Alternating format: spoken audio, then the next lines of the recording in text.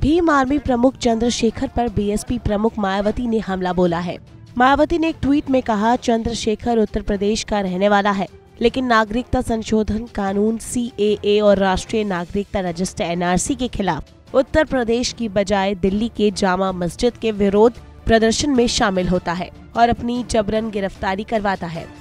क्योंकि वहाँ जल्दी विधानसभा के चुनाव होने वाले हैं इसके साथ ही मायावती ने पार्टी के लोगों से अपील की कि ऐसे सभी स्वार्थी तत्वों, संगठनों और पार्टियों से हमेशा सचेत रहें।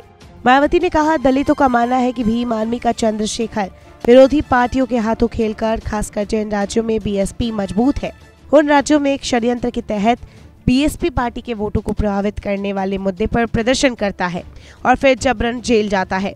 नागरिकता संशोधन कानून के खिलाफ प्रदर्शन के दौरान आगजनी और तोड़फोड़ के लिए पुलिस ने शनिवार को भीम आर्मी के प्रमुख चंद्रशेखर आज़ाद को गिरफ़्तार कर लिया।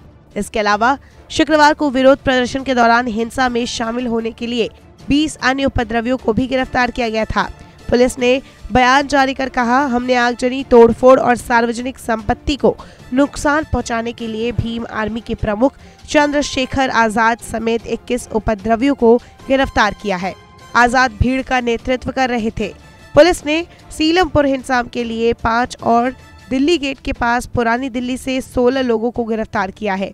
भीम आर्मी का विरोध शुक्रवार की नमाज़ के बाद दोपहर एक बजे के बाद शुरू हुआ था। जामा मस्जिद में चल रहे विरोध प्रदर्शन में आज़ाद ने भी हिस्सा लिया था। हालाँकि जब पुलिस ने उन्हें हिरासत में लेने की कोशिश की तो वो अपने समर्थकों के बीच ओझल हो गए। इसके बाद उनका और पुलिस का आपस में लुका छिपी का खेल चलता रहा। अब पुलिस ने आखिरकार आज़ाद को गिरफ़्तार कर लिया है। मायावती पहले भी चंद्रशेखर को बीजेपी की साजिश कह चुकी है। मायावती ने कहा था कि चंद्रशेखर बीजेपी के इशारों पर ये सब कर रहा है। ये सब दलित वोटों को बांटने की कोशिश है जो कभी भी कामयाब नहीं हो पाएगी।